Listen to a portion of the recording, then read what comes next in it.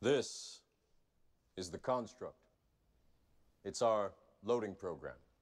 We can load anything from clothing to equipment, weapons, training simulations, anything we need. Right now, we're inside a computer program? Is it really so hard to believe? Your clothes are different, the plugs in your arms and head are gone. Your hair has changed.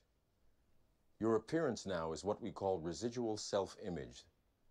It is the mental projection of your digital self. This. This isn't real.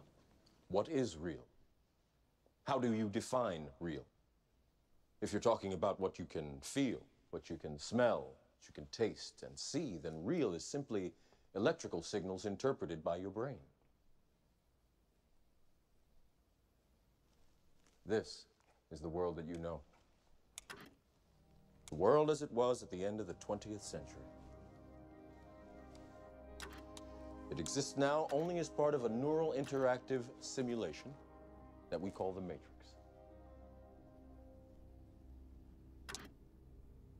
You've been living in a dream world, Neo. This is the world as it exists today.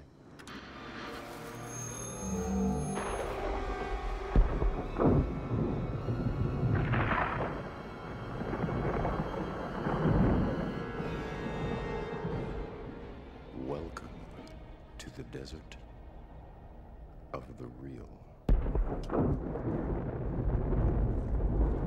We have only bits and pieces of information, but what we know for certain is that at some point in the early 21st century, all of mankind was united in celebration. We marveled at our own magnificence as we gave birth to AI, AI. You mean artificial intelligence? a singular consciousness that spawned an entire race of machines. We don't know who struck first, us or them, but we know that it was us that scorched the sky. At the time, they were dependent on solar power, and it was believed that they would be unable to survive without an energy source as abundant as the sun. Throughout human history, we have been dependent on machines to survive. Fate, it seems, is not without a sense of irony. The human body generates more bioelectricity than a 120 volt battery and over 25,000 BTUs of body heat. Combined with a form of fusion, the machines had found all the energy they would ever need.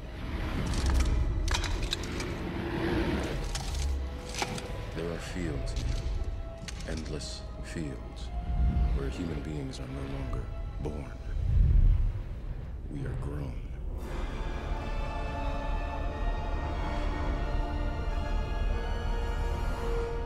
For the longest time, I wouldn't believe it.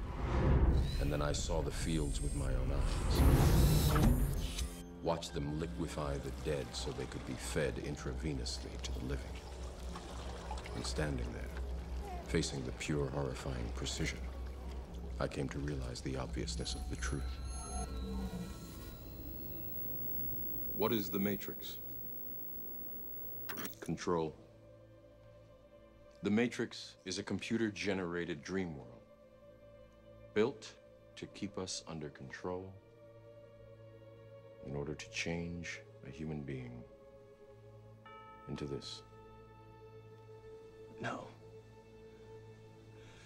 I don't believe it. It's not possible. I didn't say it would be easy, Neo.